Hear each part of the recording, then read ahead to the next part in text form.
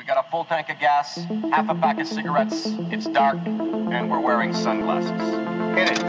You want answers? I want the truth. You can't handle the truth. Open the pod bay doors, HAL. Keep your friends close, but your enemies close. I am nothing. No. Fasten your seatbelts. It's going to be a bumpy night. Get busy, Larry. You get busy,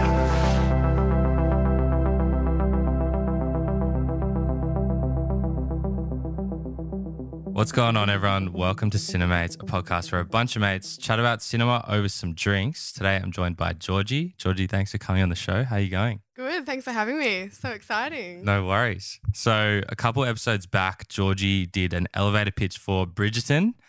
And while I was a bit hesitant at first, Came uh, around. Join the dark side. Sure, came around. Absolutely. Uh, you would have heard my short review, loving the show. I think I was in the first season at the time, but I've since smashed the whole thing. Mm. So today we'll be diving into season two of Bridgerton, starring Jonathan Bailey and Simone Ashley. And while we do that, we're drinking something a little different today. We've got Archie Rose vodka mango spritz with lime and chili. So we'll see. We'll, Mango and lime and chili. I wasn't sure about it. we'll see. Good. We'll see how they go. and if you haven't already, make sure you're following Cinemates on your chosen streaming platform and leave a five star review. Also, check out the Cinemates YouTube channel where I post video essays on film and TV characters. Now, getting into it, Georgie, as a keen listener of the podcast, you would have known that we do ask our guests a few questions about cinema to see what they like to watch. So we've just got the deep ones now. First question Most memorable movie that you've seen in cinemas? Okay. This is going to ruin my credibility. Straight away. Starting strong. Um, but okay, I don't like this movie, but it's, it's like my best cinema experience. Okay. So in year, I think it was in year 11 Yep. At school, and the whole year, and then and mums went to see the new Twilight. The like Breaking Twilight Dawn. Breaking Dawn Part One. God. And Yeah. um and it was just the most like classic cinema thing where at the end, you know, when Bella's eyes like open red. Yeah. And it's like a hundred screaming girls. Big, like, big "Oh!" cliffhanger. Yeah. Yeah. And all the mums are like, wow. That's so that was good. like the probably the best like cinema memory. nice. Yeah, there would have been a lot of hype as well with the a lot books. of hype. Yeah. That's a good one. Next question Fastest TV show binge. I mean, it was probably Bridgerton season two. That was a good. That was a Sunday night. I was up till four, and I had work. Up till four. Yeah, Wow. Just blasted through it. Yeah, I- I think I binged it as well, like since you pitched it. Mm. Um, Smash season one. And then, yeah, you were very quick. yeah, I was. like, and it, wow. there was like one night where I was out, um, came back home. It was very late in the night. Um, probably still drunk and just watched like four episodes of Bridgerton, like eating Classic. pizza. So good. Oh, what a night. Great night. Uh, next question. Favorite Australian movie? Bending the Rules a bit. It's an Australian director and it was filmed in Australia. Okay. Can that count? Yeah, absolutely. Bit of a loose loose I just like love this movie. I have to give it a shout out. Moulin Rouge. oh, nice. Baz. Luhrmann. Yeah, The best movie. so good. Have you, you seen it? Yeah. Yeah. Like the the Roxanne bit. Mm. we like I'll never forget it. We like paused it halfway through because like our food came. We paused it in the middle of that scene, and everyone's like, "Oh my god!" Just like panicking. And we ran out to get our food. It's like quiet, everyone. Yeah, yeah. So, good. Next question. A movie that you think everyone needs to see.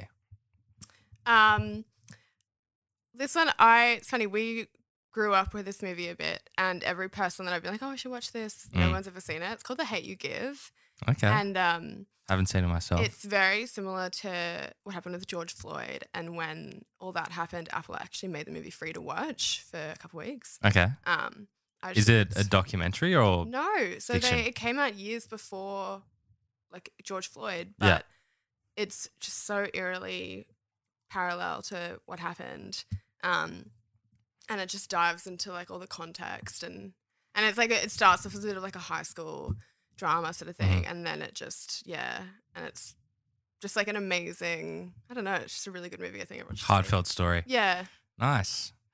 Next question. Favorite streaming service? I mean it's gonna be Netflix. Drive to Survive. It gets me through it. Friend, Yeah. They took How I Met Your Mother away though. I won't forgive them. Oh, really? Didn't they? I, They they took How I Met Your Mother Friends. One of them. Probably because I know How I Met Your Father is on. I think You seen Disney. that? No, I haven't. I don't know if I want to. Um, but yeah, Netflix is great, especially with Bridgerton. Yeah.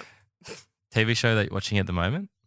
Um, I'm really watching a few. I'm watching Yellowstone. I started listening to the the shout f- out to Lucy Lennon. I started listening. For the first time, Yellowstone. Yeah, I'm up to season two. Oh, nice. Um, but I'm juggling it with the, the staircase. Oh, cool. Yeah. So, in the last episode, we had a Cinemates elevator pitch from Tom, who recommended Honey Boy. And I really enjoyed it. It was really good overall. Cinematography was very cool, kind of unique style, looking at, you know, the late 90s, early 2000s sort of Hollywood scene. Um, the story of Shia LaBeouf's sort of upbringing as a child actor was actually really interesting and moving. Like, you kind of see all the scandals and the publicity around him now, but you don't understand where he came from. And his dad like really pressured him as a child actor. Um, so really interesting story. The score is really good.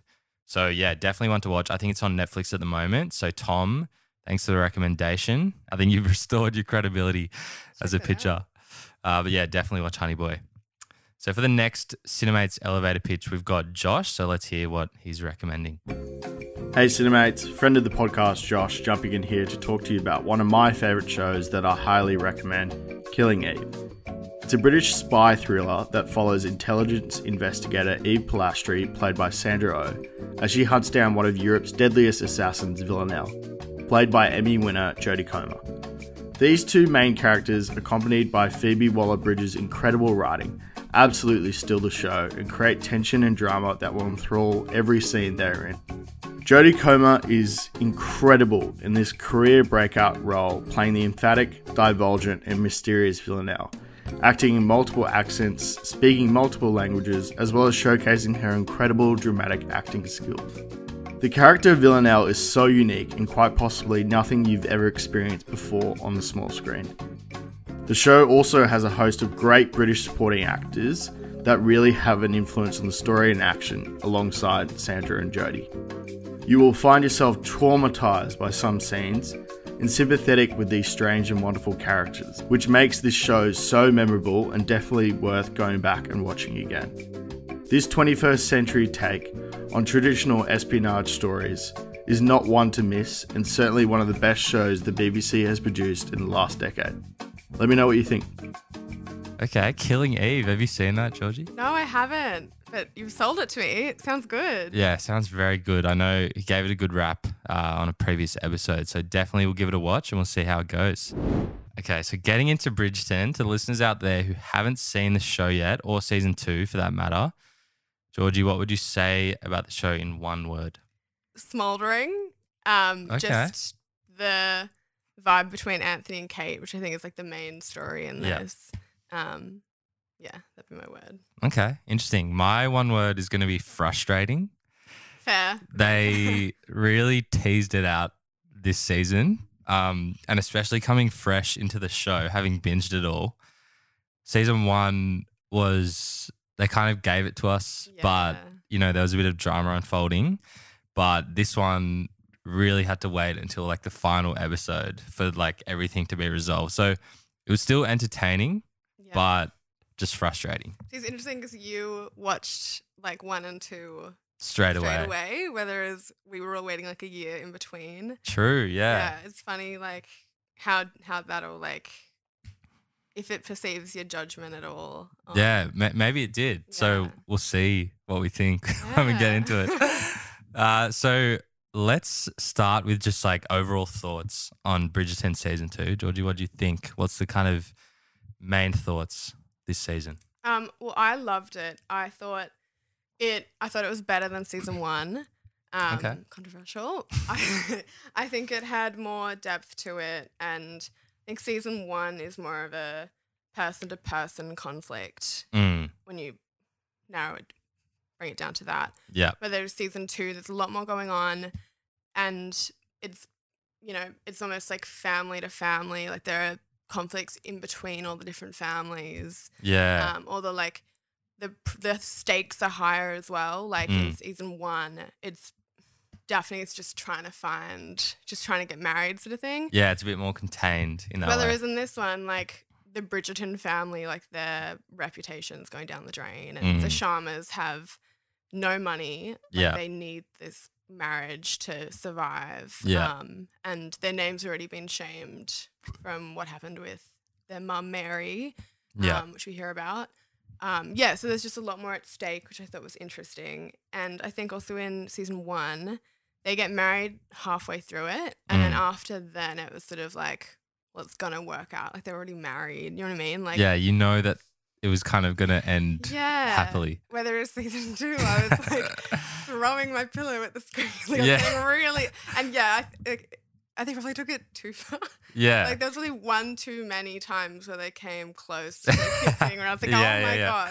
But um, yeah, we'll definitely dive into that more. Um, but yeah. I, I agree. I think season two had more going on than season one. Um, and was probably better because of it. Like you talked about, you know, the Bridgertons having multiple sort of like plot lines. Mm. And I thought that was really good. I thought Anthony's backstory was interesting. yeah, like season one, especially coming into it fresh. Um, like Duke, Duke Hastings in season one was like my favorite character. So sad. It was sad to not have him this season. Like I missed him, but because I liked him so much, I hated Anthony in season Mhm. one. yeah, Um, so season two, I actually started to warm up. I realized like he had to fill his father's shoes. Saw him die, Mm. um, which we'll talk about more. But um, I thought his backstory was really good. I thought it was also good that he shaved down his Oh sideburns. Like as soon as season two started, Oh. because I went straight into it. I was like, oh my god, he looks way better. I'll never forget when that first promo came out, and everyone's like, "Thank God." yeah, God. so good. Um, and as well, the sort of like love triangle with Anthony, Kate Sharma, and Edwina. I thought that was good. Mm-hmm. They obviously did tease us, which we'll talk about, but I thought that was interesting. I thought um, as well, Eloise, yeah, she really started to have a bit more going on this season. Um, also finding a bit of romance herself, so that'll be interesting to see. Um, Did you miss the Duke? yeah, I missed him. missed him. I missed him a lot. I like because Daphne was still in the season, yeah. and she just comes to the Bridgerton house with her child. It's like, where is the Duke? Like, like it made sense up until right at the end when they were like, "Oh, she can't come. Augie's got a cold." Like, "Oh my god, how?" Like this whole yeah, like the eight seasons been coming. Like you just gotta keep making up. Excuses. he's sick. Yeah, And the child looks so much like him too. Like, Exactly. oh surely they can just get him back for like a little scene. Yeah. So that was a bit annoying. But um, another thing that I thought was good about this season was the Featheringtons. Like, I Mm, loved that they struggled. I don't Yeah. like them. Um, you don't like them? I don't like them. yeah. um, which we'll talk about. Uh, Penelope, I thought it was interesting that you know she was like nearly getting caught, does get caught by Eloise at the end, and I think her and Colin Bridgerton's you know relationship was interesting. And and another thing on facial hair, Colin's goatee Yeah. at the start was just like so no, filthy, No. but I think he got rid of it. yeah. Um, I think they're trying to show that he like had been like roughing it on his yeah, travels. yeah, Like it wasn't enough. Like surely he'd have a full beard after I know. like, months away. but he's still young, so he's just got like a few like little hairs. Um, Benedict as well. I like he was like going to art school. Mm. Seems like he's like finding himself as well. I think he got the worst like side story out of Yeah. all of them. I think his Because the most. season one, he like had a bit going on. Yeah, well, I thought they were gonna make him bi or some sort of because everyone Yeah. was talking about that was show's- teased a lot. Yeah, well, the show's so progressive, Mm. and um, especially well, in season one, it was considered to be like colorblind casting. Season two, it's deliberate casting, which is great. Oh, But, okay. um, but yeah, everyone thought that they would bring in some sort of a um, queer character, but Mm. but then they just completely changed his course and in this one. But they made him really funny, which Yeah. I appreciated. The tea. yeah, that was great. that was good. Um, I think as well, like just coming into it fresh and being a new Bridgerton fan, like the show in general. Firstly, I think I wish I stopped being so like snobby about it because I obviously heard that Bridgerton was like the most watched series. Um, I really enjoyed Squid Game as well, so I was like, surely Bridgerton had to be good, but I, I just kept on putting it off. Would you Um, just got overtaken by Stranger Things? Yeah, I know. Um, which is interesting. So we'll see kind of how they compete going Mhm. forward. But I think yeah, it's a great show. Like very interesting take on the sort of Regency era. Yeah. More colorful, a lot more scandals, more modern, uh, with some music as well. How Um, music? Which is uh, I don't know. Like we'll we'll talk about it because sometimes the music I feel is a bit misplaced. Yeah. Um, there was a particular song this season which I'll talk about, but um, there are some good ones. Mm. Um, but like the cinematography and the scale of the sets is like so large and bold. Um, and this season was really cool. Like the costuming, new characters. Yeah, it was Mm. great. It's all very deliberate. Yeah, It's interesting. for sure. Um, now, just before we get into our sort of favorite scenes, quotes, and characters for this season two, we'll just take a short ad break and then we'll get into it. All right, Georgie, what were your sort of favorite scenes and other aspects of season two? Um, favorite scenes. We'll start at the beginning. I loved their meet cute. Um, in the forest. Oh, yeah. Woods. I feel like. When they were hunting type thing? Or the croquet in the mud? Oh no, no, no. Um, you know when they're like on horseback. Yeah, yeah, yeah. Randomly, I just like it's an important scene and it's one that you've got to do really well, and it sort of shows what's to come. Like that sort of before she hates him. Mm. Um, Oh, when they first meet, very start. yeah. Okay, yeah. Thought that was a really good one to get the ball rolling. Mm, Um, and then, like my favorite scene to look at, I think, has to be the wedding. yeah. Like that was an amazing, yeah, just so well done, and was so nervous going into that one. oh my god. Um, and the way that they did the like panning shots between Kate and Edwina. Yeah. Um, oh my god, and you you felt like you were the characters the way that they did those. Yeah. Very Um, interesting perspective. Mm. And the then the fantasy sequence came um, when it's just the two of them alone. Um, it's just oh so chef's kiss, so well crafted. yeah. Um, and then the bang the, the bangles falling is like the pivot in the scene, and then it really picks up. And Yeah, I had some. I actually had some gripes with that. Well, I don't. no, no, no. Like I, I liked it, but I'll talk about kind of just like I don't know. I thought it was a bit weird, but we'll get into that later in the episode. Mm. Um, but yeah, I, I really enjoyed how Anthony and Kate met. I think, Yeah. Like, you knew that they were kind of way more compatible Mm. than with Edwina. Um, and I think she was probably my favorite character this season. Like, finally, yeah, Yeah. finally, we get someone who challenges Anthony because he's got this like ego. And season one and two, like, he kind of is very much like, okay, I've got to find the most perfect woman there for my wife. Like he interviews all these Yeah. girls and stuff. Like it's pretty Yeah. ridiculous. But um as well, like she doesn't just and this was obviously part of them teasing it all out, but she doesn't just like fall for him straight away Mm. and actually hated him for a while. And I, I kind of liked that. Like she was looking out for her sister and her family over just finding a husband. Mm. Um, so I really liked that. And I thought um on that, like it was a very satisfying ending. Like they very much like drew it out. But um one thing I was thinking, like, how many episodes did it take for them to first kiss? Because there's like eight episodes in the season, right? Or yeah. End of the wedding, so ep- end of episode six. ten. yeah. So it took like six episodes. So wild. yeah. God, it was such a. I know. Um, so much tension, which yeah. we'll talk about. And they're just like like the razor sharp banter between the two of them, like Yeah. as you were saying, like the way that they just challenge each other. It's and even the when Daphne's she says to him like, I always I always thought you'd end up with someone more like you. Yeah, yeah. All these little hints that come along. Um, and it's true like she is very much like him like um especially there's like all the kind of like yeah the horse riding um when they're playing croquet and like Uh-huh. edwina's really bad yeah. and like anthony's really competitive so is kate um i really like the scene where they both kind of hit the balls like deep into the woods or whatever but they're not just like gonna give up the game Yeah. and then and like she still hates him at that point, and then um they end up like both falling in the mud or whatever, and you knew that they were gonna like you I know start getting close and stuff.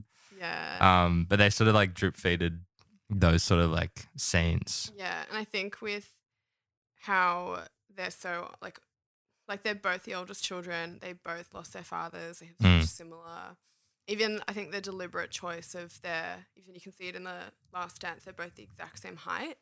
And I think that was a like they could have Oh, really? platforms, they could have I didn't No. pick that up. yeah, I think it's it's they're both on the same level. Mm. Um, yeah, and like I also love the way that she helps him through like all the like the trauma with his dad and The beasting and stuff. so that scene. Oh god, I was worried about it because I've read the books and Oh, in the books he she gets stung and he literally sucks the venom out of. Oh like, my god. And then they get caught and they're forced to marry. That's how. Oh really? Books. Yeah. Oh, that's like so different. Yeah, but the whole bee thing is just a bit ridiculous. I know. But he his acting in that scene, I was like, I've got to give it to him because that is like if you read that script and it's like she got stung by a bee and and you panic, like Yeah. But I believed him. Good yeah, on for sure. And like obviously the scene with um the father dying from the beasting in front of him like was hard to watch. Like Mm. very, you know, it would obviously impact him so much and he does have all this trauma. Um but yeah, that, Yeah. that that scare with Kate was was definitely interesting. Mm. I think all the flashback scenes are a real highlight too, and him and um, Ruth, I forget her last name, but who plays Violet, their acting in particular was amazing. I thought, Mm. and and I think it. Oh really- yeah. yeah, it really made like season one when we all hated him. You can sort of see why he's like that. Yeah. Um, and the fact he's still never really forgiven his mother and had to grow up so quickly from like Yeah. he was like seventeen. Literally. Um, yeah, and it just it all makes sense, I guess. Yeah, definitely developed that character a lot more. Mm. Um, I think as well, we touched on it before. Like Eloise had that romance. Was it with Theo? Theo. Yeah, I, I, I, I really liked it. Like she's usually, you know, she doesn't really care about that sort of thing. She's, Mm. um, what do they call it when they're allowed to go out? um like promenade what, what? What do they call it when like? chaperoned. No, no, no. More so like she's allowed to like, you know, go to events and stuff. Oh, they're like they're out. yeah, they're out. Yeah, sorry. Yeah, that's what it's called. Um, but yeah, like because she's out now, right? Yeah. Um, so now she's like maturing a bit. She's um, grown into her bangs too. Yeah, absolutely. the hair. She's got Um, a tan too. Yeah, yeah, she did.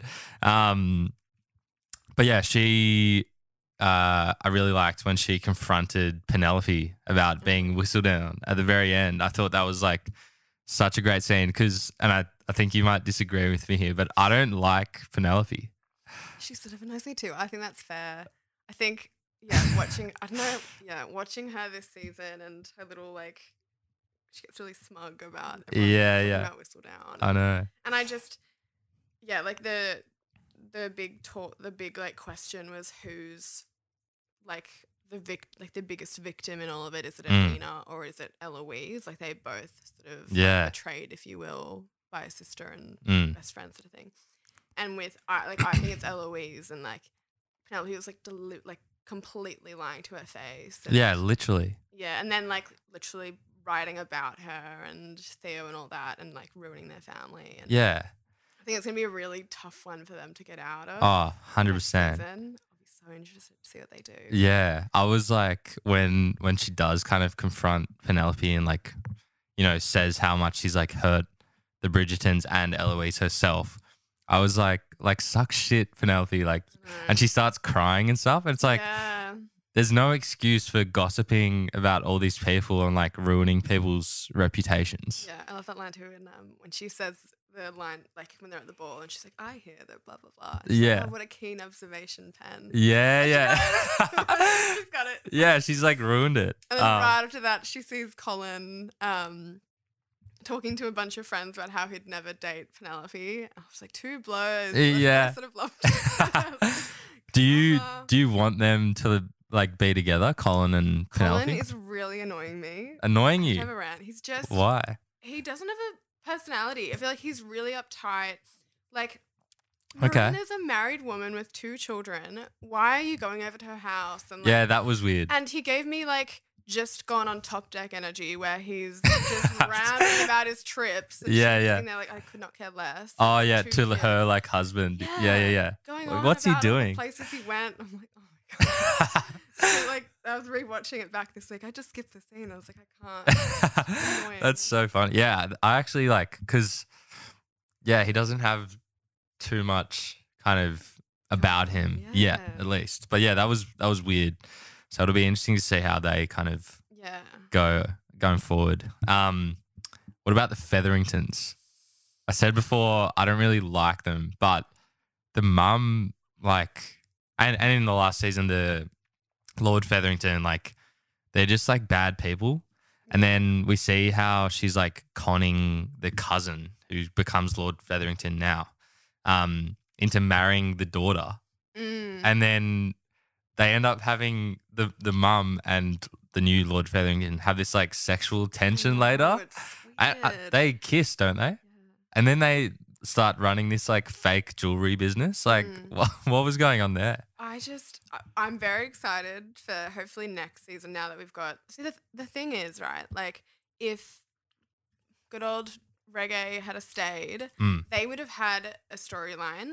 And Yeah, you know what I mean? So, because he left, like, they had to give it to someone. And so, hopefully, Oh, next true. season, Kent, oh, Anthony, Kate and Anthony will have like a side track, right? And Yeah. we're going to get less and less of the Featheringtons, which, God. hopefully. I, hope just, so. Like, in my yeah, I just especially the first time I was watching it, and I just wanted to watch like being a book, having read the books. Yeah. I just wanted to watch Kate and Anthony. yeah, yeah. Brid- I love like the Bridgerton scenes Mm. and all that.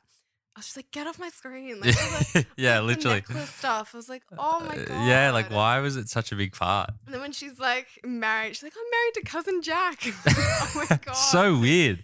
weird. I I've like no um like I don't I don't like that character the, the daughter at Yeah. all. Like she's not funny. no.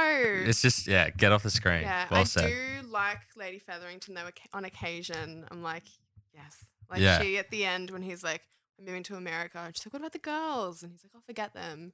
Yeah. And then she's like, "Nah, I'm staying with them." Yeah, that was actually pretty good. Like, she does have her moments here and there. Yeah. Um. And, and when the queen walks into her ball and she's like, "This this ball is my crowning achievement." Like, love that for you. Yeah, like she, a couple of little bits. yeah, and she um like it's entertaining to see how she's so like focused on their reputation in society. They've got to have like the best dresses and like all these things. Um but yeah, Featheringtons, it'll be interesting to see where they go in future seasons. Yeah, it's interesting too with them, like a costume choice is how compared to say the Bridgertons who are typically in very simple blue Mm, outfits. yeah. The Featheringtons are in these like yellow and green and like very decorated outfits. Like they're Yeah. just trying so hard to To stand out. Yeah, and it shows that like they're not from that like time. Mm. Not, not from that part of society because Portia just has no idea. Yeah. Like yeah, I think that was an interesting choice as well. Yeah, for sure. I think a, a good scene as well with the Featheringtons. Colin, which was something good about him, he like confronts them, Yeah. finds out that the jewelry was fake because he like invested in their business or whatever. Um, and I'm glad that he like stood up and like you know outed them because then they obviously then have to like sort of flee. But that was a good scene as well. Did you think like the you know the bar Will like the the boxer from season one? Oh yeah, What did you think about that? what do you About, mean? Like his whole. So like I was like, this is not. oh, good. him starting like a Like, club or whatever. Yeah. Yeah, well, that like, that didn't really lead to anything. no. What was that even about? Yeah. like they just wanted to keep the actor in. They felt sorry for him. They just Yeah, him a little plot. I know. Because like in the first season, he um match fixes the fight to get money for his family. So I was like, oh, okay, like maybe season two, he'll have more of a thing because he was mates with Duke Hastings. But yeah, that did, that just didn't go anywhere. yeah. That was a weird uh, plot line. Um, another thing as well, Lady Danbury. There was a good scene where, because I don't really like her, um, which I'll talk about. Yeah, we'll we'll talk about later. But um, Lady Danbury, there was a good scene where she's giving this advice to Kate because Kate's very much like, no, I can be independent. Um, I can do my own thing. Like I'm prioritizing my sister and my family. Um, but Lady Danbury talks about how she is a widow and she's already lived and loved, and now she can do what she wants and say what she wants, which was interesting because season one, I think you just get introduced to this like glamorous, sassy character. Um, so it was good to like see a bit more going on there. Yeah. I, wait, so why don't you like her? okay, well let's let's get into this. Like we'll get into the more bad parts. I don't know. I just like her voice is really annoying. Like she talks very like I don't know, snobbily and like her eyebrows are just a lot, aren't they? it's her eyebrows and her voice. Like um that's really it. I, I don't know. I don't have much. That's That's that's yeah, it sounds pretty bad, but I don't know. I just She just annoyed you. That's fair. like she's she's just like always getting involved in things and like Mm. obviously that's who she is but i don't know she was just annoying and um like she kind of knew that kate and anthony had feelings for each other and she was being all cryptic like just tell them because she gave really good advice to daphne and duke hastings in Yeah. season one but then this season she just like was like letting it you know fester Yeah. away so I don't know. You gotta see it on TikTok. All these people that impersonate her, they draw Oh, the no out the cane. that's so so do you like her I, I think she's needed. Like, Yeah, she is. She's everything Kate wants to be as well, which I find funny. But Mm. um, I just think she's well done. Like even the um, watching an interview and the actress was saying when she got the part, if you watch it back, you'll see that in every scene she has her hair like gelled back pretty much. And it's always up. oh okay She's just like always looking like she's just on top of ah everything. yeah she is And I think she's a character that's neat. Like we sort of needed her as an Im- for like us to know what's going on, and then Mm. people are starting to catch on to. So I think she's an essential character, and she also links the two fam. Like she's Yeah. a middleman. Yeah, in a, in a absolutely. way. But um, I was wondering like at the end of season one how are they're gonna incorporate her because she was like the Duke's um yeah yeah mother. yeah So I was like, how is she gonna be relevant? mm, So it'll be interesting as they go on how they keep her in the show. Yeah. You know I mean, um, definitely i think because i also thought that she was whistledown in season one Yeah. but obviously she's not so yeah i guess i guess she's the key part um in the bridgerton story Mm. um While we're talking about that, what did you? I know it's season one. Curious, what did you think about them revealing Whistledown so early on? Yeah, so I because obviously you mentioned that um because I haven't read the books and uh, each season was going to be about uh, Bridgerton, Different. uh, yeah, child, and I thought that Whistledown was going to be revealed way later yeah. to keep people in. So now that it was revealed, I was I was very shocked that it was Penelope. Um, but I was like, surely she gets found out in season two, which she has. Mm. And I guess season three, we'll see the kind of result of that with Eloise now knowing. But Yeah. yeah, I don't know. What like what are they gonna do for the, the rest of them? I know, and the Queen's very close to like she narrowed it down to like five of them, and, and Yeah.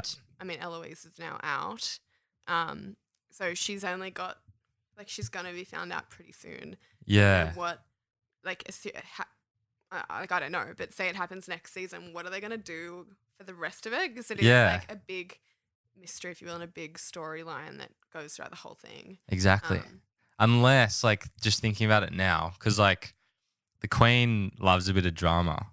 Um, I feel like even if she found who it was, she would kind of use them. Like I think the Queen says that she would like want Whistledown as like a partner yeah, true. to like Mm. you know influence a bit of gossip. So yeah, it will be interesting in that sense. Mm. Um, but just in terms of another part that I had gripes with, uh, which I talked about, um, and obviously my one word was frustrating. Yeah.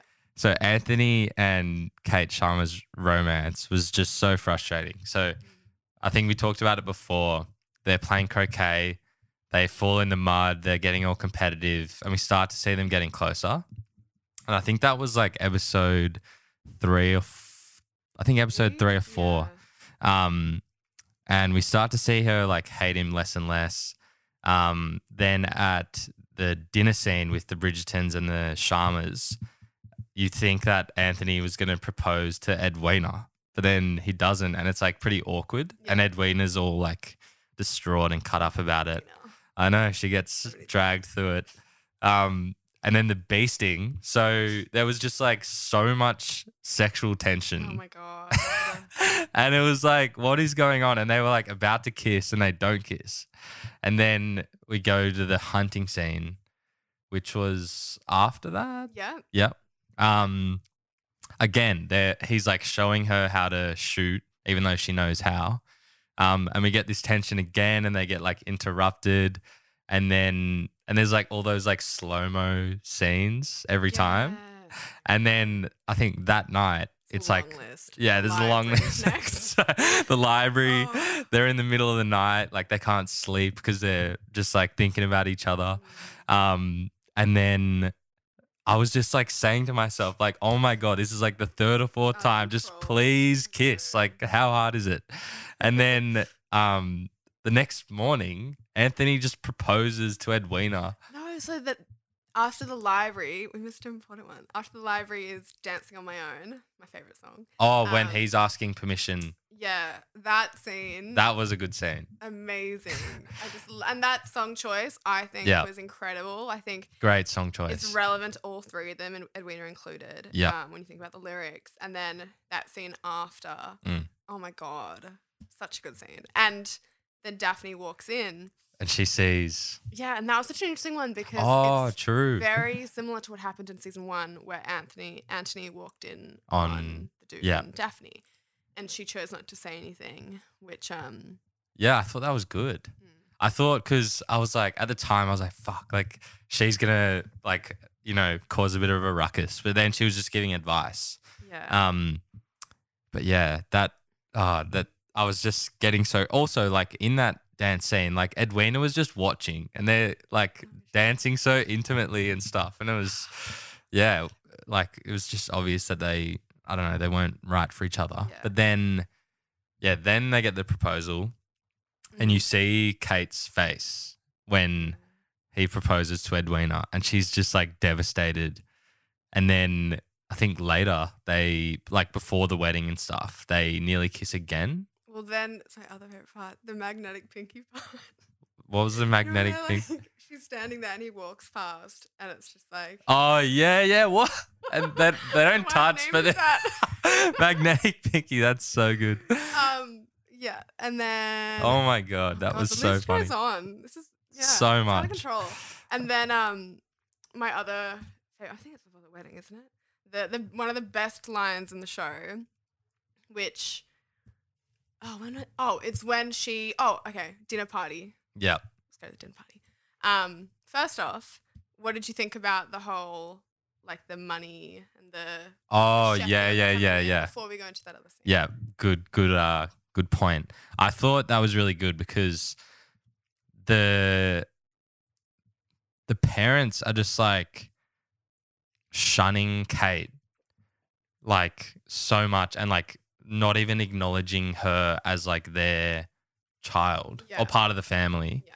And I'm glad that Anthony like stood up for them, stood up for her and the Sharmas. And then he was like, no, like, I don't want, like, leave the house. Yeah. I thought that was a good scene. I thought that was a big point for Anthony. But then, yeah, it was weird that he then just like kind of, you know, went for Edwina. But what do you think about that scene? Yeah, I think I don't know. I the whole like money thing with Kate trying. 'cause part of me is like, why can't she just end up like? I can't even think. Does she need the money if she marries Yeah, like so- a, a wealthy husband? What I didn't get was why couldn't she like? Why did it have to with Edwina? I Mm. think they were trying to get the dowry right, but surely like with, especially with the scene after that where he's like pretty much confessing Mm. that he, he doesn't say lo- like love her but likes her. Yeah. like she could have married him and then they would have married into wealth. Like it didn't Yeah. like yes, with anyone else it had to be Edwina for the dowry. Yes. But why couldn't it have been her? and she, like she could have married him, and then the family would have been fine. I just Yeah. that- right Because Like, then Edwina could just find her own husband. that was the only thing where I was like, oh, Know, but Yeah. So why did she keep it from Edwina? I think so because she didn't want Edwina to then feel the pressure and she Oh, wanted to marry the first person. Right. Um, That's true. Shouldn't tell Mary either. Yeah. Um, but and I think it's similar to Ant- Anthony in that she just takes on all the like family stress Mm. and bottles it up. Yeah. which is probably why she's so uptight. Um, but yeah, it was it was a good scene. Yeah. Um, and and it was it's a bit like the wedding in that as a viewer you, you just you know it's gonna come off. Like Yeah, yeah, yeah. Up this whole thing. I know. to- um, yeah, like so what was so frustrating was that they then couldn't just like be honest with each other and mm, say how they really felt. And like the you're not sure how Edwina and Anthony are not going to get married. yeah. And so we get the wedding um and he dream as you said before, he dreams of Kate like walking down the aisle, Mm. kind of imagines being with her. And then in real life with Edwina, the bangle scene, like she Mm. drops the bangle. right. This this is one thing that like I I didn't like because then he picks it. He's like, oh, he like stops, goes away from Edwina, picks up the bangle, puts it on Kate, all like seductively in front of everyone. And I was like, as if he would do that. No. like, like that. That's what it like. It was obviously kind of to make Edwina realize that he wasn't in it and that they Mm. weren't. But like, I don't know. Like, yeah. it was weird. It was a weird one. Um, but then later they they kiss at the altar. I think finally.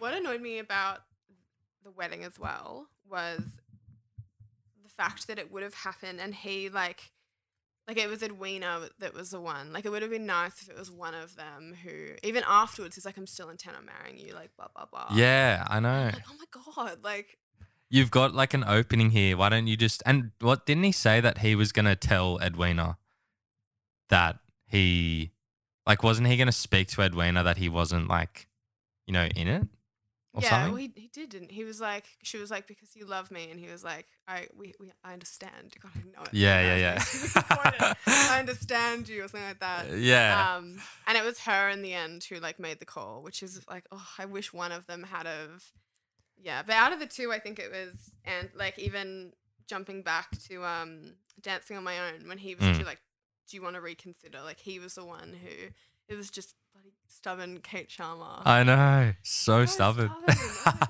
when, and and I, I this is when I was like, it's gonna happen here when she's in the cupboard. In, during was that? Wedding, she hides in the cupboard. oh yeah, yeah, he comes in yeah. She goes, this is my place of refuge or whatever. I was like, here we go. This is it. I was looking around. There were too many like delicate ornaments. I know. But um, yeah, that was by that scene. I was like, this is way too far. Yeah. That was out of control. And and don't they like say to each other like go inside or like um or something? They're like both telling each other like go away. That's but they're oh, okay. Yeah, yeah, yeah. But um yeah, then they they finally kiss Mm. and it starts to get a bit heated. And I think the song was like How Deep Is Your Love? So and um. is that that scene? so this is the, are you talking about the wedding one? Yeah, yeah, yeah. That was um. What about us? Oh, true. But is there's a How Deep Is Your Love Yeah. later? So that's that's in second last episode.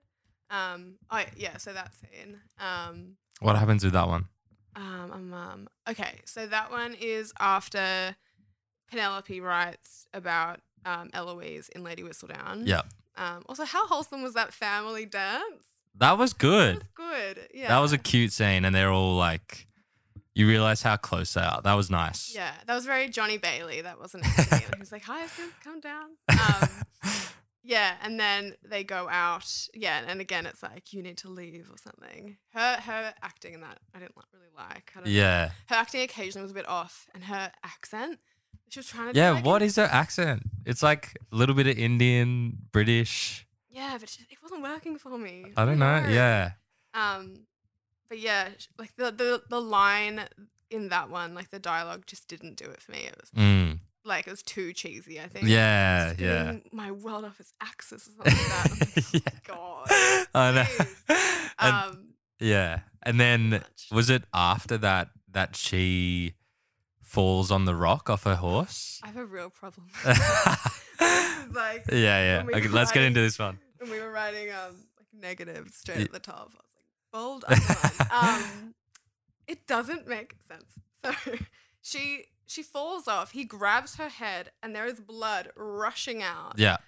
Like, and then he carries her all the way back, like on horse. I'm assuming. So it would be a, a fair distance. Yeah. They get back. It's in 1700s. Like the doctor would have just like done nothing. I know. She lies in a coma for like a week. Yeah. whatever, And then, and then, and then she's lying there like glowing, hair perfect, and just wakes up, and everyone's like, "Oh, thank God!" Oh, I was like, yeah, I know that it's so ridiculous. Like, oh, l- like they that sort of injury would have been fatal. yeah. like how was she how has she survived? And also on the other side, Anthony's perspective, like he's not getting with not getting married with Edwina anymore. They've talked about their feelings finally. Mm. Why didn't he just visit her while she was injured? So I think with that, I think why they did it, which was a good thing, um, was they were trying to sort of recreate what happened with his dad, and his whole thing was he was worried, like he didn't want to want a love match because he didn't want to like lose Oh, his like okay. love or whatever. Yeah. Um, and that was why he was so intent on like his little checklist. Um, so her then falling and nearly dying, he was like, "Oh, here, it- here it goes again. Like, Mm. Got too close, blah blah." right. And that's why it was one of the best acting scenes I think in the whole thing when um Violet tells him that she's awake, Mm. and his like if you watch it back, his facial expressions and that, like the amount of different stuff that he does, um, yeah, it's just incredible. Yeah. um, such good acting. So good. But yeah, I think that was the whole reason behind it. Um, Yeah. And then, yeah, and then when she wakes up, that's a big, like, step forward for him. Like, Mm. like not everything will end in tragedy, sort of thing. yeah. Um, yeah, but they could have done it some different ways. I know. Oh, come on! It's so could've- ridiculous. She could have just fallen and grazed. No, she not. A bit more dramatic than that. She could have had a way different injury. She could have had the flu or something and been Yeah. in bed. Like it's the 1700s. People die from the flu back then. Yeah. And then she would have recovered. No one would have thought a thing. Yeah, or it could have been, um, maybe not another bee sting, but like, yeah, it could have been, it could have been something so different. Just all these bee stings. All the bees. Um, but yeah, then he- then he wants to like propose to her, yeah. and she rejects his proposal, right? So she rejects it because Yeah. she doesn't think that he loves her. She thinks he's doing it out of obligation. Yeah. Fun little tips. God, I'm lame. he Let's hear it. tulips to her. Yeah. And in season one, Violet says to him, um, "You should get some tulips for your future bride. Like they symbolize passion or whatever." And he was like, ah. like said no, whatever. And then he rocks up with tulips. So he's he's you go, everyone. You're welcome. That's a good one. Fact. Um, no, I didn't pick that up. So he, yeah, well, that shows like he, that shows Oh like he's that shows he's you know maturing, being a bit more open and and trusting with his feelings. Yeah. Um, but then they have is it the like final sort of dance uh Mm. to Wrecking Ball? Was it Wrecking Ball? Yeah. Yeah. That one of your?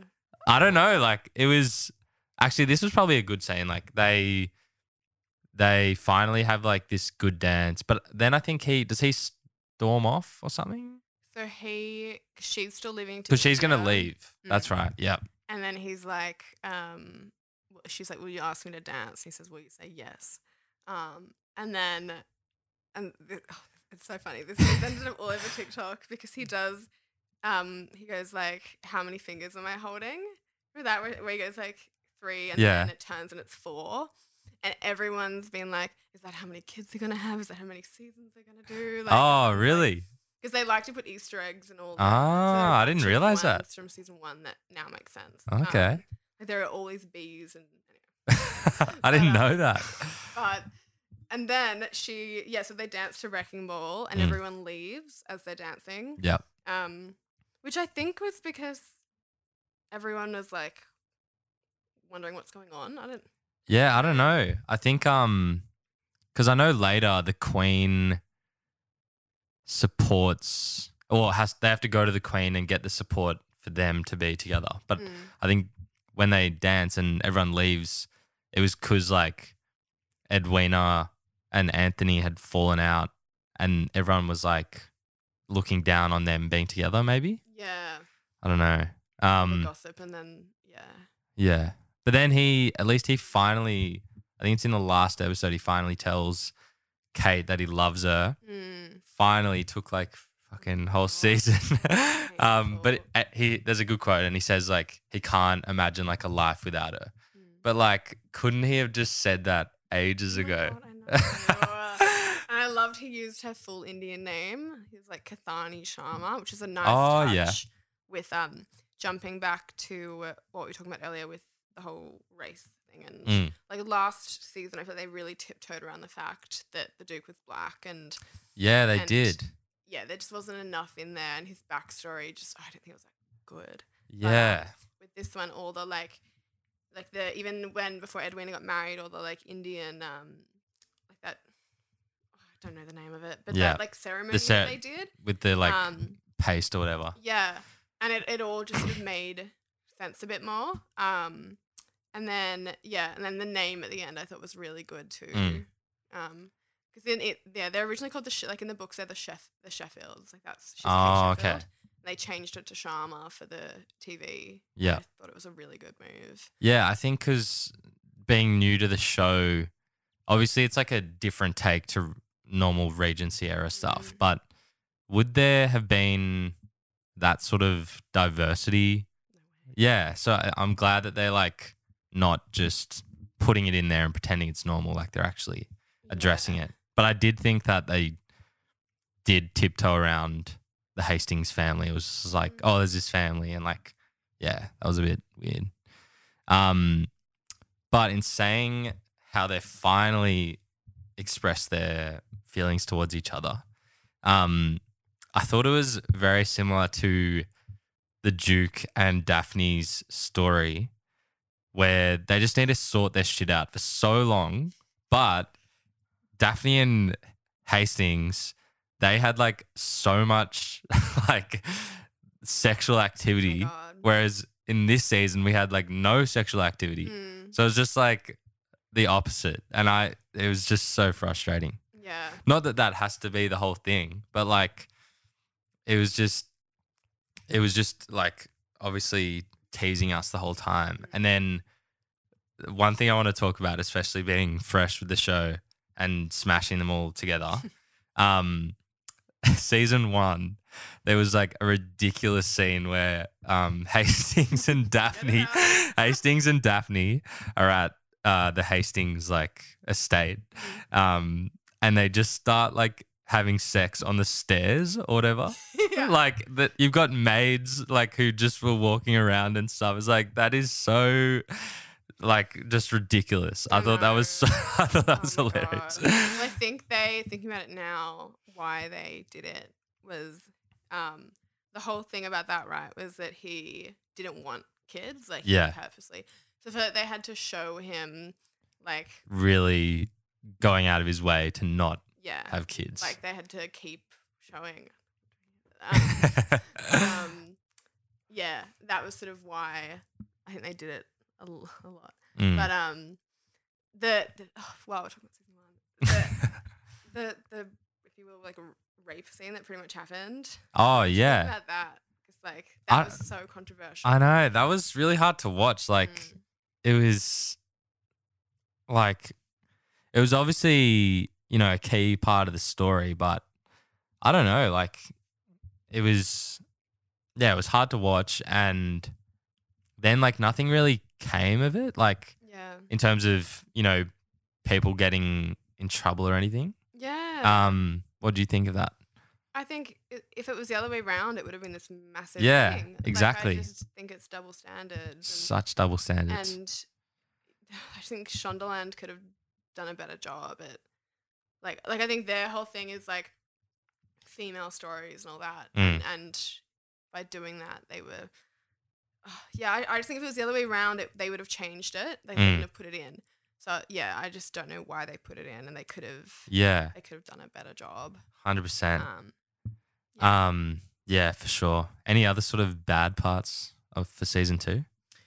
um, What do you think about like Penelope being caught as Lady Whistledown?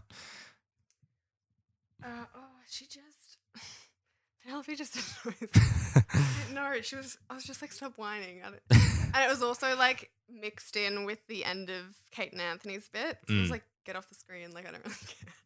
I Um, know.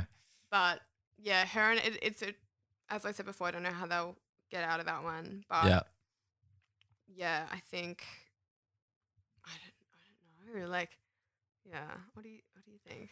I don't know. Like it'll, given that they've revealed it so early, like it'll be interesting to see where they take it. But Mm. yeah, I just Penelope, she's always whining, as you said. Yeah. Um, and she's created all this gossip. So, you know, I hope she like cops it next season. Yeah, and even we'll there was a um scene where where they're all promenading and and Colin's like talking to someone, and you look over at her, and she's got the biggest like pout, and she's so grumpy. Yeah, I know. Like you're not making us like you. I know. It's just annoying. also, like again, I hope this isn't like materialistic and mean, but I don't like her hair. I Her hair, it like flaps around and it's so annoying. Well, I don't know if She's like doing it- strutting around and her hair's just waving about. I'm like, oh my god, just like strategically are making the side characters like it's like the sideburns 2.0. Yeah, I know. These wigs, and then whenever she her season is, they're gonna like make it like normal hair. Yeah, yeah. But yeah. They probably will. She'll have this like big glow up or something. Um, but yeah, that annoyed me as well. Um, but nonetheless, despite the sort of like cringe parts and frustrating parts, like it obviously keeps us entertained and it's a great show. So I'm keen for season three. And speaking of, there's a big announcement that next season will be about Colin, right? Yeah, so they've gone against the order, so it's followed it so far. So the So in the books, is it? Yep, so it's Daphne, Anthony, Benedict. Yeah. So they've skipped Benedict, which I don't know if it's because he's like they just don't, they don't seem to be giving him much time. I know. Is he is he younger than Anthony? Yeah, the other thing that He looks so much he older. looks older than the dad. You the flashback, I know. The dad is like a young guy. Like he could have been a Yeah, brother. I know. Um, yeah. He, well, he's actually older than Johnny Bailey in real life. Um, Yeah.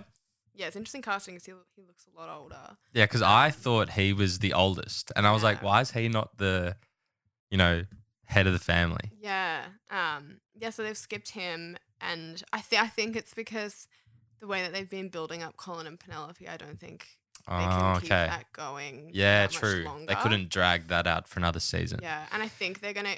My money is after that they're gonna do Eloise. I think that they're doing all the Yeah. big ones because Netflix does have like a reputation of canceling stuff. Oh, okay. There are eight seasons to get through. Yeah, and they may not. Like they they cancelled some.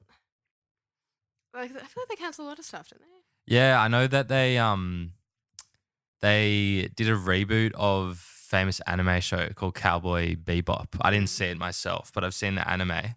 Um, but it was like really poorly received, and they were gonna do like a few seasons, and they just canned it after one because it was not very good. Yeah. Um, yeah, so maybe they're kind of bringing forward the more what they think will be popular ones. But Yeah. I I still was keen to see where Benedict went. Like season one, as you said, we were kind of um teased or was like implied that maybe, you know, he's exploring his sexuality.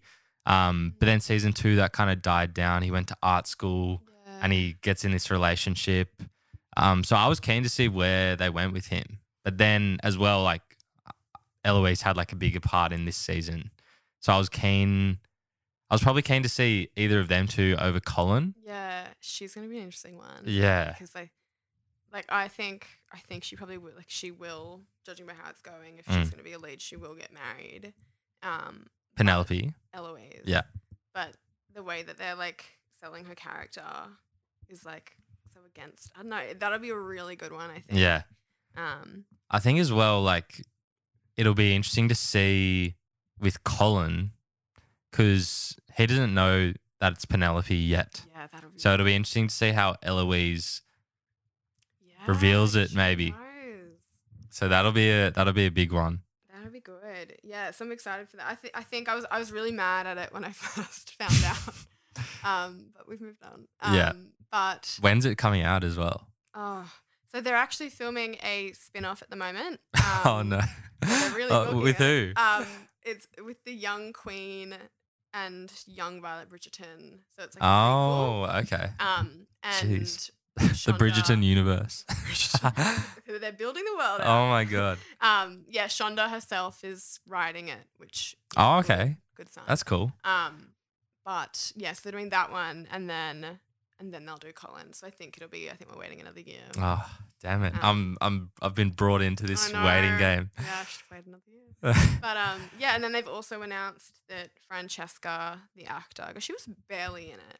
Is that the younger sister? The younger sister? Like you probably don't even remember her. She, I, I don't know who she is. yeah, she was there at the beginning, and then she just left. 'cause she oh, the one who like lived overseas or something, and she was in like Yeah. was she just in season one? she was in season one. She was in the start of season two. Oh, that's right. Um, she yeah, was a myth, and then such a myth. And then they've announced that she's left to go to some like, because she got a starring role in like an indie film. Oh, okay. Is that Oh. a Netflix film as well? No, but I'm just like, it's such a good payoff. Like, wait until it's your season and you're like Yeah. starring in one of the best series Shows, Netflix. yeah. Like, Well, it's like it's made um Regé and like the other actors like huge, as if you wouldn't just like stay in it for a bit. yeah. So they've Yeah. replaced her with um Hannah Dodd, who, for anyone who's seen Anatomy of a Scandal, is the Oh, the young version of Sophie. Okay. Um, who's a great actress. So she'll, because I think the next season she'll get more of a mm, role because hers is coming up. Um, interesting. but yeah, so a few changes, but yeah, it should be good. But we're waiting a while. Yeah. nah, definitely keen for season three and the rest. But nonetheless, great recommendation. And we'll definitely talk about it in future. Uh, so that is a wrap for Bridgerton season two. Thanks so much for listening to this episode of Cinemates, a podcast where a bunch of mates chat about cinema over some drinks. Huge thank you to Georgie for coming on the podcast. It was great chatting with you. Fun. As always, please let us know what you want to hear about in future episodes. And if you want to send in a mailbag or do an elevator pitch to me, send us a DM on Instagram or TikTok at cinemaze underscore. Otherwise, we'll catch you for the next episode. Thanks so much for listening to this episode of Cinemates. Make sure to follow us and leave a review on your chosen streaming platforms. Also, check out our Instagram, TikTok, and YouTube channel for more Cinemates content. In the spirit of reconciliation, we acknowledge Australia's First Nations people as the traditional owners and custodians of the land and pay respect to the Cammeraygal people of the Eora Nation upon whose country Cinemaze is based. We honour the storytelling and culture of Aboriginal and Torres Strait Islander communities across Australia. Also, in the spirit of chatting with mates, remember it's always important to check in with those around you. Whether it's friends, family, or colleagues, sometimes they may be going through a hard time, and chatting with them may reassure them that they aren't alone. If you or anyone you know is ever struggling, call Lifeline on 13 11 14.